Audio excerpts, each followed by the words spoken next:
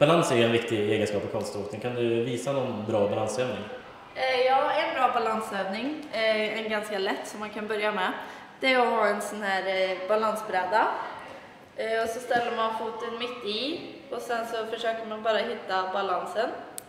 Och vi brukar tänka på att titta på, titta på någonting som är still, kanske typ på väggen eller någonting, så man hittar balansen ganska snabbt.